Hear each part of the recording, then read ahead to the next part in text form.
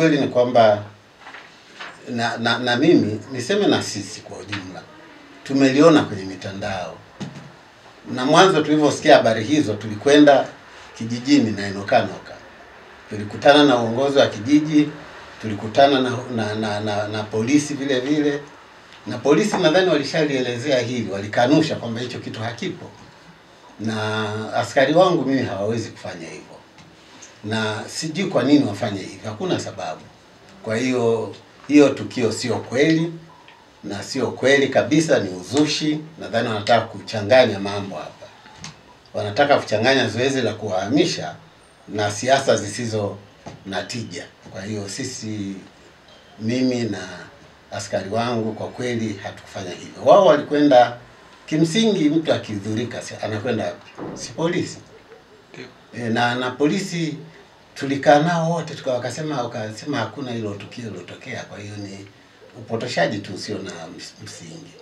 Sisi kama mnavyofahamu, zoezi la kuhamisha wenyeji ndani ya kutoka ndani ya hifadhi ya Ngorongoro kwenda Msomera na Kitwai bado linaendelea, na kwa kweli niseme linaendelea kwa ufanisi mkubwa. Juzi tumeendelea tena na hili zoezi, tumehamisha e, wenyeji wengine kwenda Msomera na Kitwai, lakini kama nilivyoongea awali, sasa hivi tumeanzisha utaratibu, sababu waliomba wao wenyewe, tumeanzisha utaratibu wa kuruhusu wanaotaka kwenda sehemu nyingine yoyote ambayo wao wanapenda.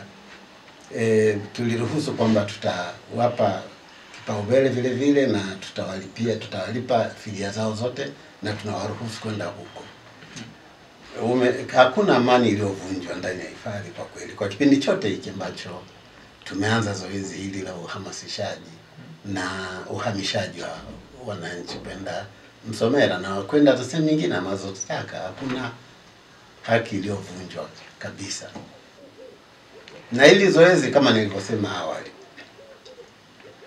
e, sisi tumeruhusu waende mahali wanapotaka kwa hiari, na bado tutaendelea kuwahimiza waende sehemu nyingine zozote kama sio Handeni, sehemu nyingine zozote kwa hiari.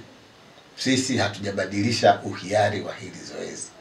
Tunachofanya ni ku hili swala la kuhama, walianza kuhama wenyewe kwa sababu zao, baada ya muda muda mrefu tu wamekuwa wakihama na wana makazi sehemu nyingine nyingi tu mengi tu Tanzania, na sisi hatuwazuii wasiende huko. Sisi tulichofanya ni kuformalize, kuhakikisha kwamba tunawawezesha, kwa sababu sio gharama ndogo kuhama. Kuna fidia ambayo tunatakiwa tuwalipe. Kwa sisi tunafanya hivyo kwa nia nzuri ya kuwasaidia wenyewe. Walishahama ndani ya hifadhi wengi, wakaenda sehemu nyingine. Sasa sisi tukasema kwa sababu wanahama, wameona hali halisi ilivyo, basi tuwasaidie, kwa sababu gharama ni kubwa. Kwa tunawasaidia, tunawaendelea kuhamasisha, tunawaendelea kuwalipa fidia, tunaendelea kuwajengea nyumba. Sidhani kama kuna wema zaidi kuliko huo. Mimi sijawahi kuuona. Naona serikali ya Mama Samia kwa kweli ina wema sana, na washauri wote kwa kweli ambao bado wako ndani ya hifadhi, naendelea tena kuwaasa, zoezi la kuhama kwa hiari bado linaendelea.